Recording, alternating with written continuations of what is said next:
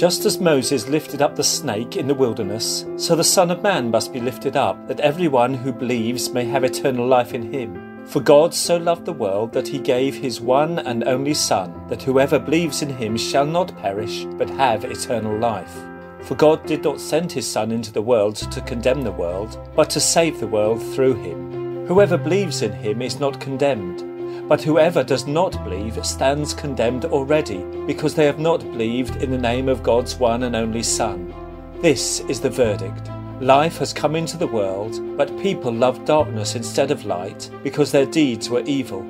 Everyone who does evil hates the light and will not come into the light for fear that their deeds will be exposed. But whoever lives by the truth comes into the light, so that it may be seen plainly that what they have done has been done in the sight of God.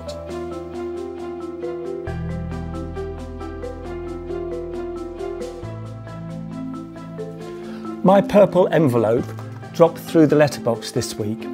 I don't know whether you've had yours yet, but it's got all the information that you need in order to fill in the census. The National Census is a once in a decade opportunity, a once in a 10 year activity to collect all the data, all the numbers, all the statistics about our life in Britain today. It's all about the facts and the figures. Over the last 12 months, our lives seem to be dominated by facts and figures. Whether it's the number of hospital admissions, the infection rate for COVID, numbers of people, millions of people in fact, who've had the virus. These numbers have all dictated whether we're in lockdown or not, and how fast or slow the restrictions are, and whether and when they're going to be lifted. And of course, the saddest figure of all is the number of people who've died because of COVID. We become obsessed with all this information, all this data. But behind each number, behind each single figure, there's a person, a family, a story to be told. Behind every death lies a grieving family. Behind every vaccination could be the very first time that person has stepped out beyond their front door in months or maybe a year and talked to someone face to face. We are more than just a number. And we can see that behind that story that we've heard, that meeting between Nicodemus and Jesus and the conversation. Nicodemus was a Pharisee and many Pharisees were hostile to Jesus and what Jesus was trying to tell people, what Jesus was trying to teach people. But this Pharisee, Nicodemus, he had questions that he wanted, that he needed answered. And it was only Jesus who could do that. So maybe to protect Nicodemus's reputation, Nicodemus chose to meet Jesus at night. And likewise, Jesus would have been aware of his relationship with the Pharisees. Yet Jesus was prepared to meet Nicodemus, to hear his questions, and to answer them. For Jesus, Nicodemus was more than just one of the Pharisees. He was an individual with stories to tell, with questions that needed answering. And Jesus was the one who he reached out to and the one who responded.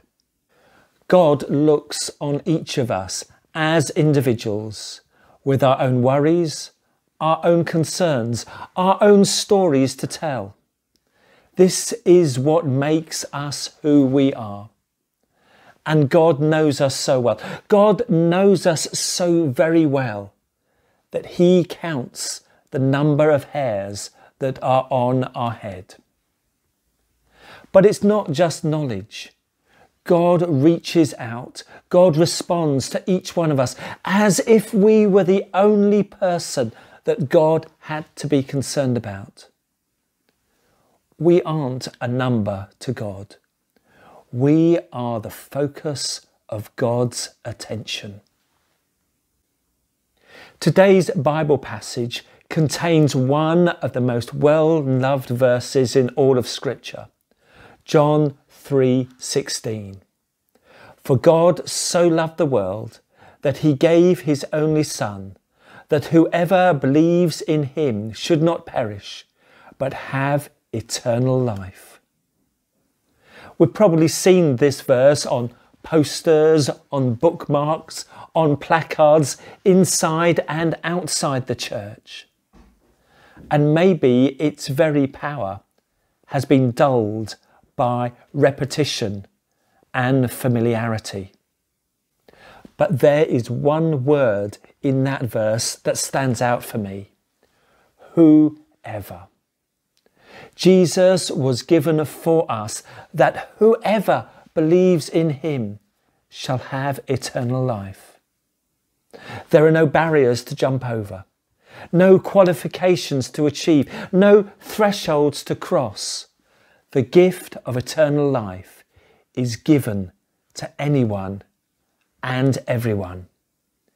In fact, God's love for each one of us is so great that even if only one of us responds and believes, then that's enough for God. To God, we are much more than a number or a statistic.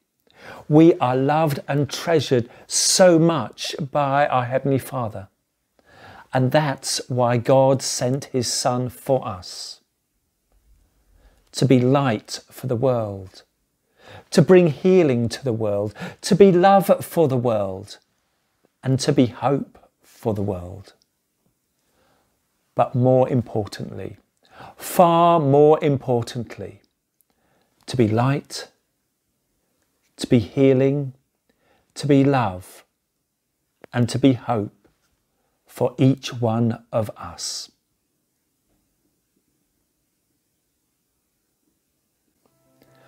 Let's pray.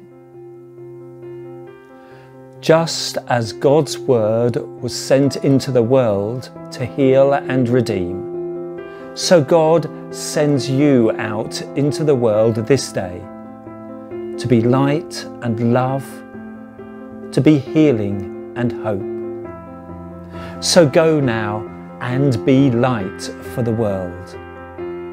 And may the grace and peace of God, the Creator, the Redeemer, and the Sustainer come upon you this day and remain with you always.